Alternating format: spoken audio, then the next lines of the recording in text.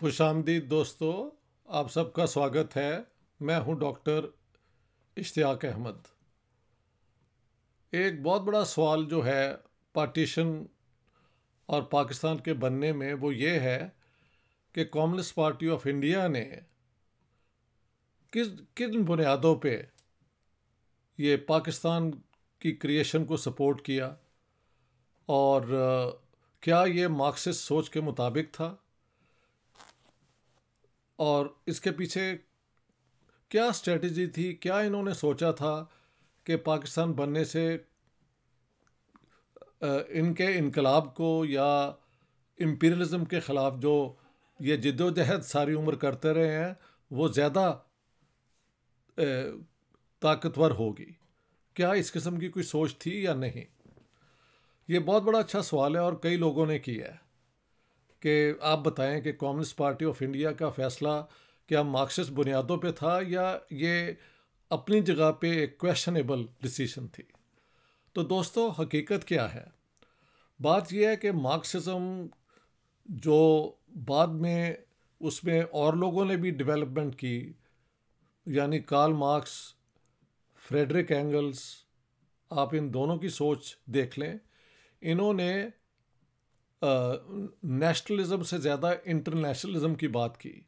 लेकिन नेशनलिस्ट जो मूवमेंट्स हैं, उन पे इनको स्टैंड लेना पड़ा। तो वहाँ इनका स्टैंड ये था कि जो नेशनलिस्ट मूवमेंट्स ओप्रेस्ड लोगों को पावर देती हैं, उनको सपोर्ट किया जाए। और जो रिएक्शनरी किस्म की नेशनलिस्ट मूवमेंट्स हैं, उनको सपोर्ट करने की कोई ज़रूरत नहीं। यानी मजहबी जनून को उन्होंने अपोज़ किया।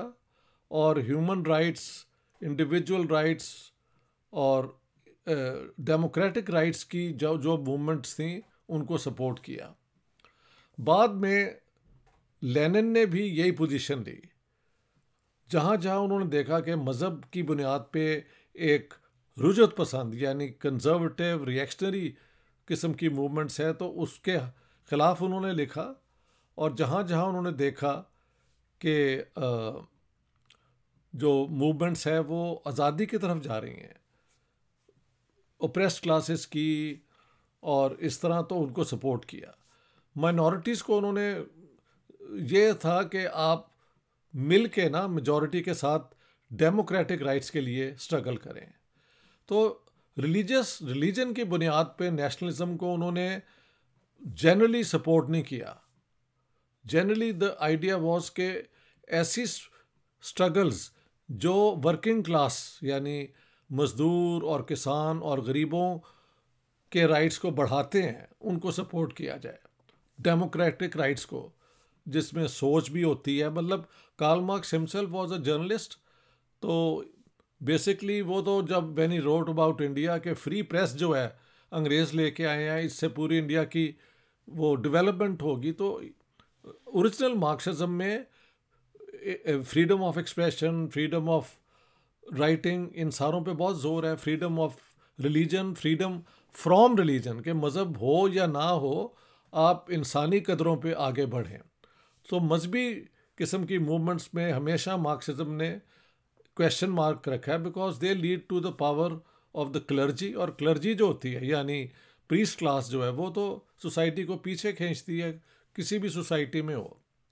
तो how come communist party of India decided to support the two nation theory directly support नहीं किया। एक और इनडायरेक्ट रूट निकाला, वो मैं आपको बताता हूँ। इन्होंने क्या डिसीज़न लिया?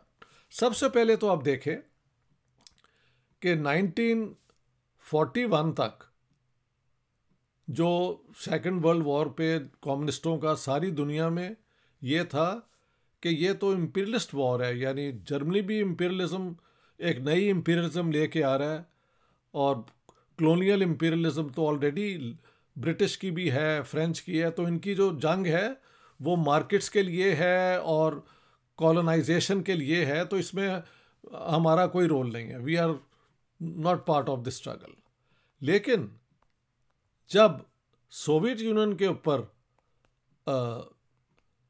हिटलर ने हुक्म दिया कि आप इनको अटैक कर दें तो जिस दिन अटैक हुआ, उसके दूसरे दिन ही यहाँ पे कॉमलिस्टों ने कहना शुरू कर दिया कि ये एक पीपल्स वॉर है। और पीपल्स वॉर से मुराद क्या है कि नाटजी जो हैं, फैशिज्म जो है, वो अब दुनिया की वाहिद द ओनली वर्कर स्टेट जो है सोवियत यूनियन उसके ऊपर हमला किया है। तो इसलिए सारे कॉम्युनिस्टों का काम है कि इसको सपोर्ट किया जाए। तो हिंदुस्तान के जो कॉम्युनिस्ट हैं उनको भी ये पोजीशन लेनी पड़ी और मैं समझता हूँ, ये उस ज़माने में एक मुनासिब पोजीशन भी लग रही थी। लेकिन उसका पॉलिटिकल इम्प्लिकेशन क्या हुआ? बात यह है कि जंग तो अब जो पहले से शुरू हुई थी 1939 से तो बरतानिया और फ्रांस के साथ जंग, पहले हिटलर ने लड़ी, फिर सोवियत यूनियन पे अटैक किया। 39 में जंग शुरू हुई बरतानिया और फ्रांस के ख़िलाफ़, बीच में बेल्जियम, ये सारे मुल्क आ गए। बाद में हिटलर चेंज ईस्टवर्ड्स और एक पैक्ट था बिटवीन द सोवियत यूनियन और नार्जी जर्मनी के हम एक दूसरे पे अटैक नहीं करेंगे। हाँ जी, उसकी बैकग्राउंड ये है कि एक्चुअली जोसेफ स्टालिन जो उस ज़माने में कम्युनिस्ट पार्टी के चेयरमैन थे जनरल सेक्रेटरी थे सोवियत यूनियन के और रूलर थे सोवियत यूनियन के, उन्होंने फ्रांस और ग्रेट ब्रिटेन को ऑफ़र किया कि let's have a military alliance and I will provide one million Soviet soldiers to fight fascism Nazism. But the French and the British refuse to have an alliance तो उन हालात में फिर Soviet uh, union ने देखा कि हमारे पे अटैक करवाना चाहते हैं ये हिटलर की तरफ़ से तो एक और कॉन्ट्रैक्ट उन्होंने एक और फिर पैक्ट सोवियत यूनियन से कर इनसे नार्सी जर्मनी से कर लिया, नो वॉर पैक्ट। तो फिर हिटलर ने बजाय जंग सोवियत यूनियन पे करने के, उसने जंग शुरू की बरतानिया और फ्रांस का। हालाँकि नार्सिज्म का अगर आप फ़लसफ़ा देखें और फैसिज्म का, वो बेसिकली एंटी कॉम्युनिस्ट एक आइडियोलॉजी है। हाँ जी? लेकिन क्योंकि ये पैक्ट हो गया था तो दो साल सोवियत यूनियन को मिल गए अपनी तैयारी करने के लिए। फिर भी जब हमला हुआ तो मे बी इट्स ट्रू कि स्टालिन वॉज़ नॉट एक्सपेक्टिंग के Hitler will now attack them क्योंकि पैक्ट पहले हो चुका था बट जब हमला हुआ तो ये आप, मैं बता दूँ कि ये सारी सेकंड वर्ल्ड वॉर के अंदर यूरोप के अंदर 50 मिलियन लोग मारे गए, जिसमें से सिर्फ़ सोवियत यूनियन के 27 मिलियन लोग उनकी जाने गई। इतना ज़्यादा जुल्म किया ये नार्सिस ने और फाइसिस्टों ने अगेंस्ट द सोवियत यूनियन अब होता क्या है कि so now 1941 the communist party of India declares कि ये तो अब सारे कम्युनिस्टों की जंग है हिटलर के नार्जिज़म और फैशिज़म के ख़िलाफ़। तो हमें अब सपोर्ट करना चाहिए। तो क्योंकि अब सेकेंड वर्ल्ड वॉर में फ्रांस और बरतानिया और इधर से रूस और दिसंबर 1941 में even United States of America ये चारों मुल्क जो हैं मेजर मुल्क, ये एक अलायंस बन गए against Hitler and Mussolini and the Japanese ये दो अलायंस बने ना।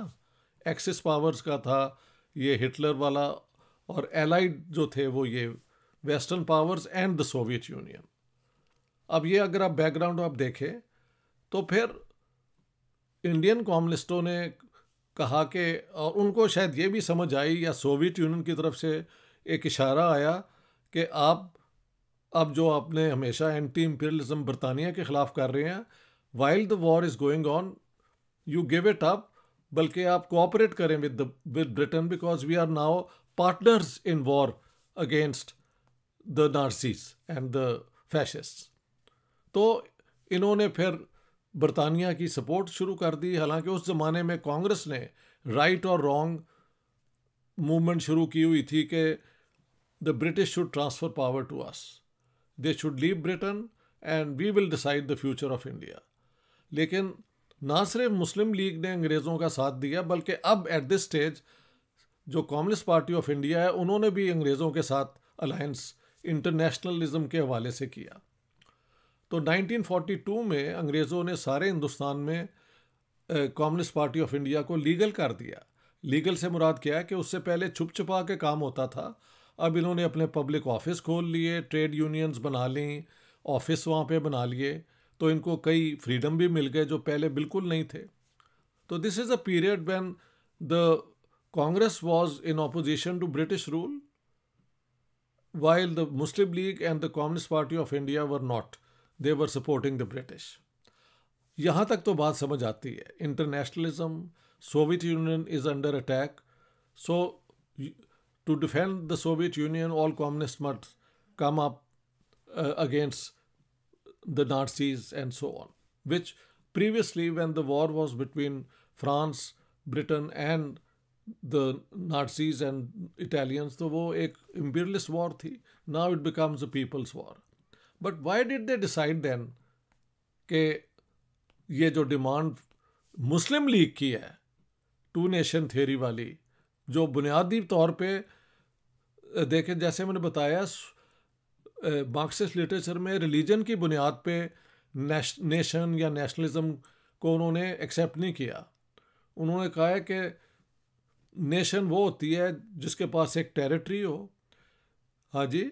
जिसकी इकॉनमी इतनी डेवलप्ड हो कि वो सेल्फ सफिशेंट हो सके, जिसके पास एक लैंग्वेज हो, जो सब बोलते हों, और जिसका एक नेशनल कैरेक्टर हो, यानी एक पर्सनैलिटी डेवलप हो जाए ओवर द सेंचुरीज टू से कि these people are Indians these people are Japanese and so on and so forth ठीक है?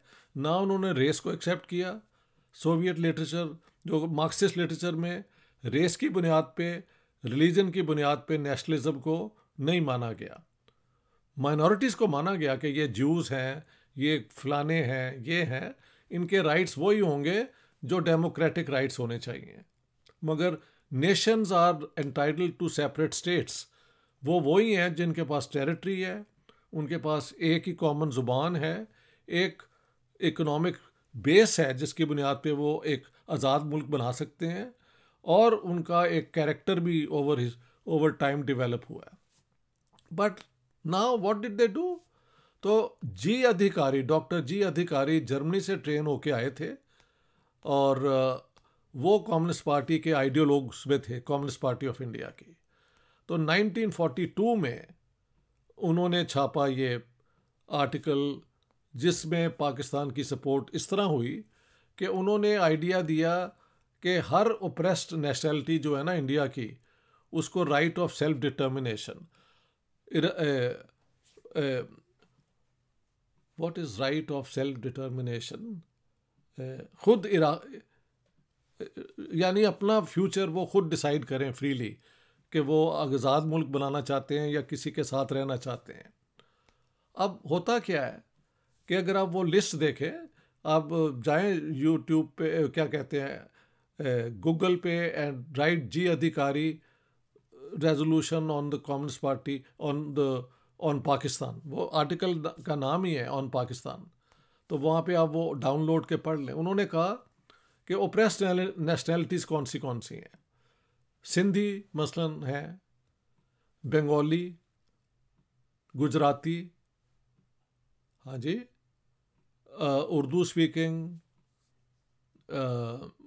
साउथ इंडियन जो हैं, ये लिंग्विस्टिक बुनियाद पे उन्होंने नेशनैलिटीज़ को माना कि हर वो नेशनैलिटी जो चाहे आज़ाद हो ना, हिंदुस्तान में वो हो सकती है। अंग्रेज़ों से भी और and so on so forth लेकिन when they came to Punjab Adhikari thesis ने बजाय सारे पंजाबियों को, हिंदू, मुसलमान, सिखों को एक नेशनैलिटी माना, एक ही कल्चर एक ही ज़ुबान उन्होंने कहा कि यहाँ के जो सिख हैं और जो मुसलमान हैं, उनको भी राइट ऑफ़ सेल्फ डिटर्मिनेशन है। दैट्स वेरी स्ट्रेंज सिंध के मामले में उन्होंने नहीं कहा कि यहाँ के मुसलमानों को है, या यूपी के मुसलमानों को भी सेल्फ डिटर्मिनेशन है।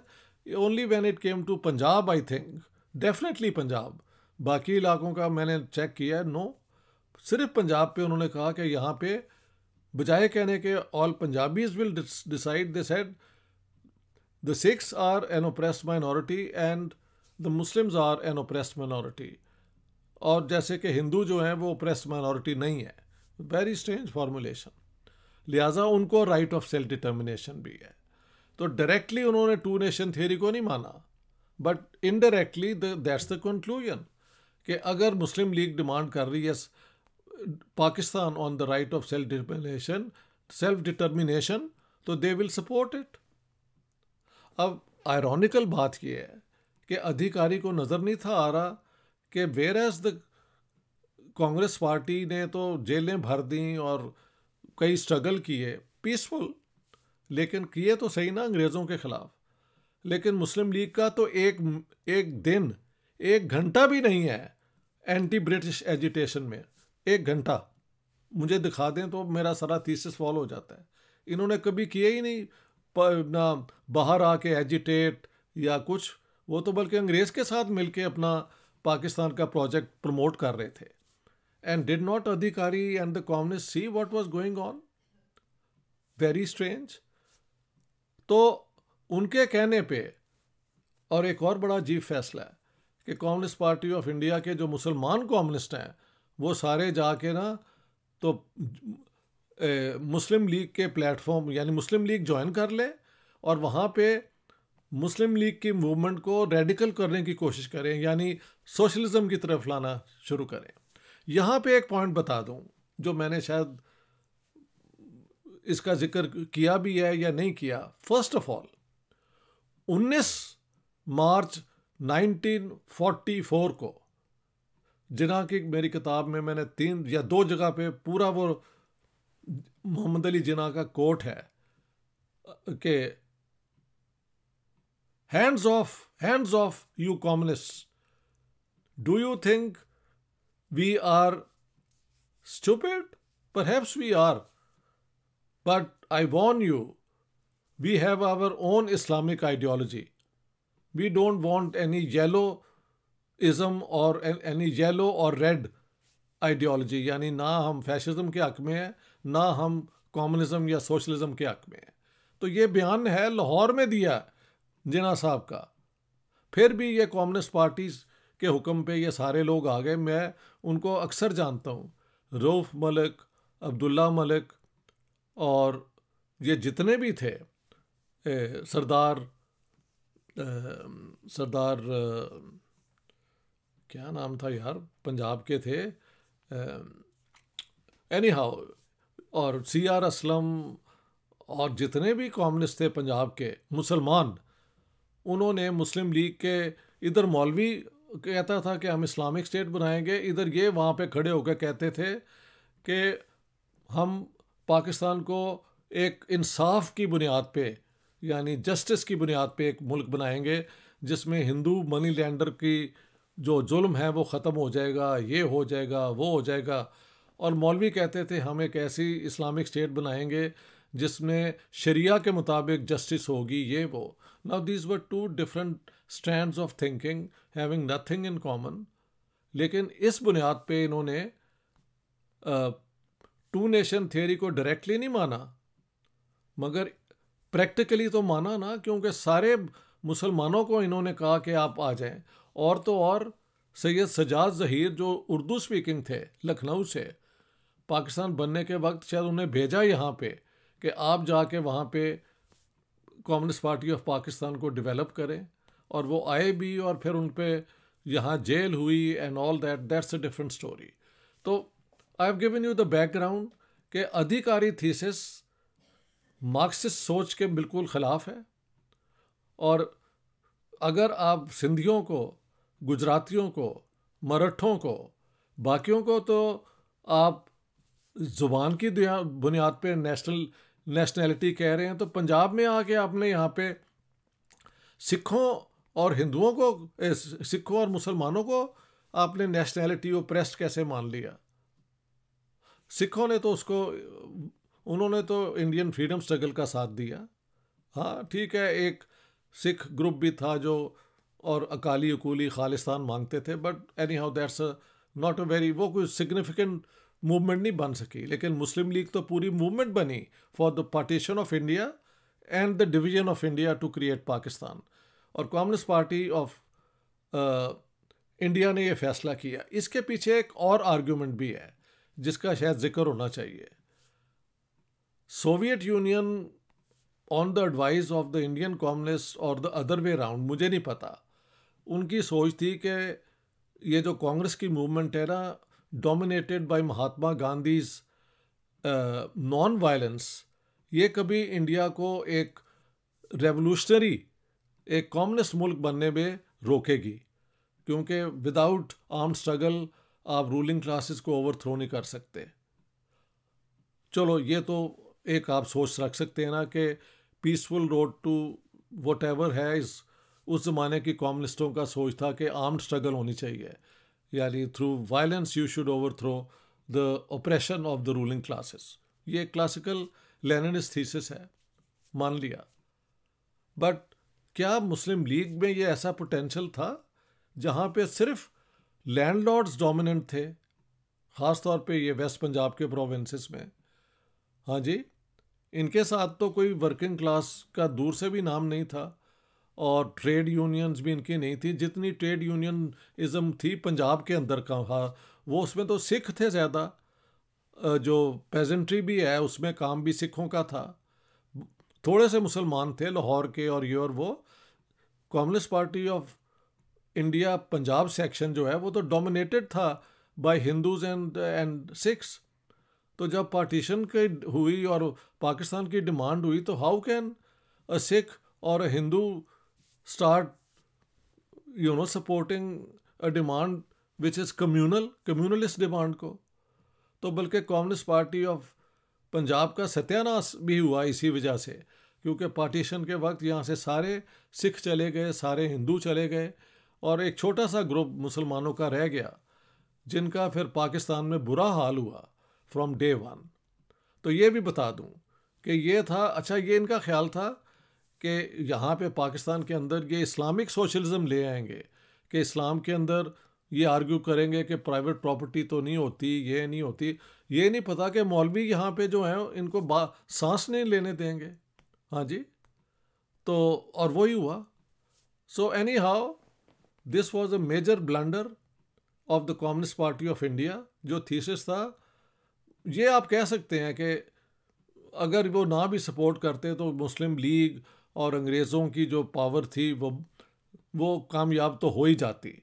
But still I think if the communist party had stayed out of it तो we don't know what sort of political map would have emerged in 1947 but at least this is the role of the communist party of india at that time, जिसका मैंने बाद में सुना है कि कुछ लोगों ने इसको रिजेक्ट भी किया है कि ये एक बहुत बड़ी गलती थी।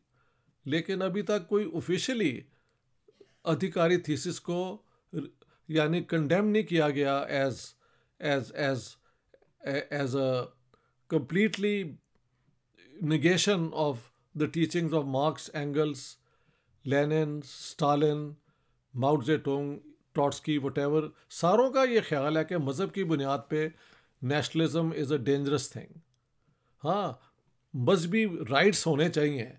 माइनॉरिटीज़ के मेजॉरिटीज़ के. बट स्टेट बिल्डिंग नेशनलिज्म उसमें बिल्ड करना जो है, वो फिर एक्सक्लूड कर देता है लोगों को. यानी कि ये जो जर्मन नेशनलिज्म थी पोलिश नेशनलिज्म थी, इसमें जो जूश मनॉरिटी थी, जो पोलिश स्पीकिंग थी जर्मन स्पीकिंग थी, उनको उन्होंने एक्सक्लूड कर दिया था because they were not from the same race the same blood the same religion तो इसके ख़िलाफ़ था मार्क्सिज्म की सोच. कि सारे जो एक टेरिटरी में रहते हैं रिलीजन प्राइवेट है, वो अगर एक ही ज़ुबान रखते हैं, एक ही कल्चर रखते हैं तो दे आर वन नेशन लेकिन ये टीचिंग जो है मार्क्सिज्म की कम्युनिस्ट पार्टी ऑफ़ इंडिया की और डॉक्टर अधिकारी और पीसी जोशी और ये सारे लोगों ने जो थीसिस डेवलप किया, वो ओरिजिनल मार्क्सिज्म से एक क्लैश करती है, बुरी तरह क्लैश करती है और उसके रिज़ल्ट अब हमारे सामने हैं। So thank you very much. This was also something people had for a long time wanted me to talk about. So I have now brought forth all the facts about why the Communist Party decided to support the demand for Pakistan. Thank you so much.